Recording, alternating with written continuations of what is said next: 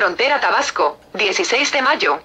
Prioritario, rescate del sector pesquero, con responsabilidad ecológica, afirmó Arturo Núñez.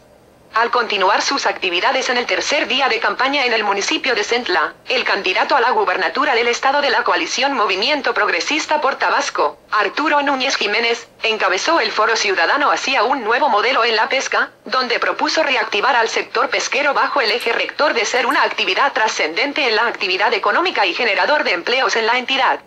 En el evento, en el que participaron diversos especialistas en el tema pecuario, Arturo Núñez escuchó muy atentamente las participaciones y propuestas que sobre el sector pesquero, disertaron los panelistas con temas como un nuevo modelo pesquero necesidad de un cambio.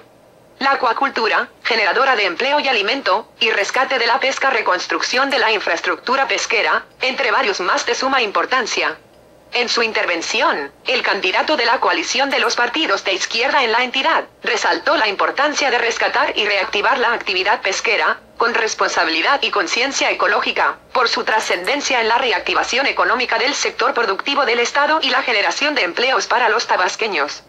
En el diseño de las políticas públicas, afirmó el candidato, hay que escuchar a los ciudadanos, a los que viven los problemas y no desde los escritorios de una oficina. Nos vamos a dedicar a diseñar los proyectos para rescatar y hacer de la actividad pesquera un sector prioritario para el desarrollo económico del Estado y para la generación del empleo para muchos tabasqueños. Por eso, se comprometió Núñez Jiménez, quiero decirles que si llego a ser gobernador del Estado, tendrán en mí un aliado para recuperar la pesquería en Tabasco, lo que provocó los aplausos y porras de los pescadores asistentes al foro realizado en el puerto de frontera.